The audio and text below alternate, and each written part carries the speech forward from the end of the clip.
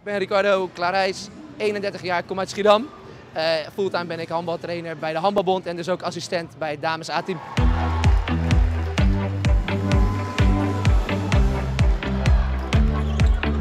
Ik handbalde in Schiedam bij mijn eigen vereniging en toen, uh, uh, toen ik geblesseerd was dacht ik, nou ik ga een beetje coach en trainen erbij.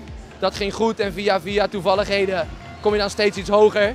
En vijf jaar geleden heb ik besloten om een echte baan op te zeggen en vol tijd voor handbal te gaan. Ik was niet zo'n goede speler. Ik had nooit dit niveau kunnen halen.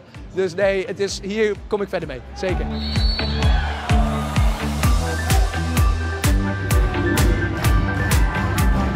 Hiervoor was ik consultant betalingsverkeer. Ik had uh, hier in Rotterdam aan de Erasmus bedrijfskunde gestudeerd. En, uh, en ik was ja, consultant geworden. En op, ja, op een dag besloot ik dat aan de kant te zetten en dan maar handbaltrainer. Als ik heel eerlijk ben, je kan rijker worden als consultant betalingsverkeer. Maar uh, dag in dag uit met je sport bezig zijn, met jonge, gedreven, gemotiveerde meiden, dat is hartstikke leuk. En die passie voor handbal heeft Klarijs vooralsnog geen windeieren gelegd.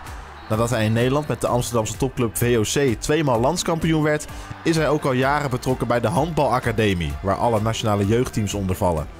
Het betekent dat Klarijs veel bezig is met de internationals van de toekomst en dat sommigen nu al doorbreken in het eerste. Onder wie Diona Houseer, die nu in Denemarken bij de topclub Odense speelt, maar bij VOC en Jong Oranje te maken had met Klarijs als hoofdcoach. Ik heb me al van uh, kleins af aan vaak tegengespeeld en uh, ja, het is toch leuk dat je elkaar daarna later weer tegenkomt en kan bouwen naar iets anders moois. Dus uh, ja, hier op het grootste podium is, uh, ja, is ook leuk dat hij erbij is. Vooral trots op hun. Dat ze, ik weet wat ze allemaal voor gedaan en gelaten hebben. Dat ze dan tot hier geschopt hebben en ook belangrijk kunnen zijn in dit soort wedstrijden, vind ik hartstikke leuk.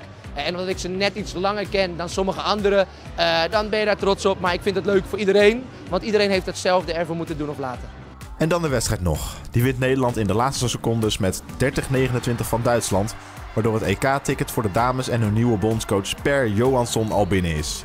Maar dan rijst natuurlijk de vraag: wil de nog altijd pas 31-jarige Klarijs over een paar jaar niet zelf het stokje overnemen bij Dames 1? Ja, weet, weet ik eigenlijk niet. Vroeger zei ik echt van wel, ja, ik wil die hoofdcoach worden.